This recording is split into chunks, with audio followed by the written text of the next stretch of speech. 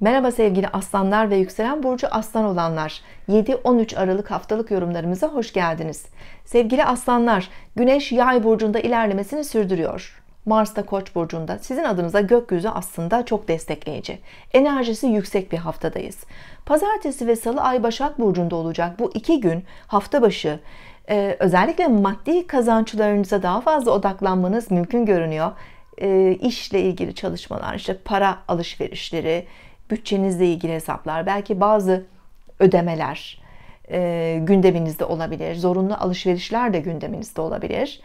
E, çarşambadan itibaren Ay terazi burcuna geçince daha çok zihinsel anlamda aktiviteler, iletişim konuları, sosyal faaliyetler biraz daha hareketlenmeye başlıyor günlük hayatımız. Yakınlarımızda olup bitenlerle daha fazla ilgilenirken bu tabii ki komşularınızla, akrabalarınızla, kardeşlerinizle de olan e, haber trafiğini arttırabilir, iletişimleri biraz öne çıkarabilir.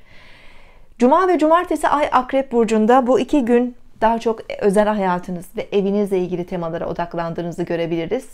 Evle, evde bir şeylerle uğraşabilirsiniz ya da aile üyeleri özellikle ebeveynleriniz gündeminizde olabilir. Duygusal olarak da temaslarınız onlarla ilgili konularda sizin için belirleyici olabilir.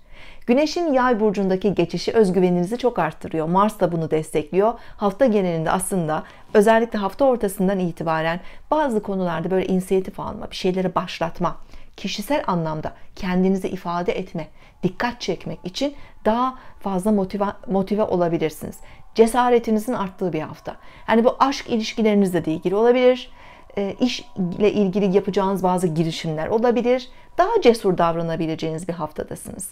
Bir yandan da Güneş'in Neptün'le teması var.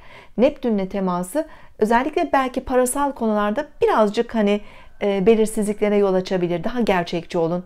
E, örneğin çok hevesle, cesaretle bir adım attığınızda bunun mali yönlerini de biraz iyi hesaplamakta, çok hayalci olmamakta fayda var sevgili aslanlar. Sağlıklı ve mutlu bir hafta dilerim. Hoşçakalın.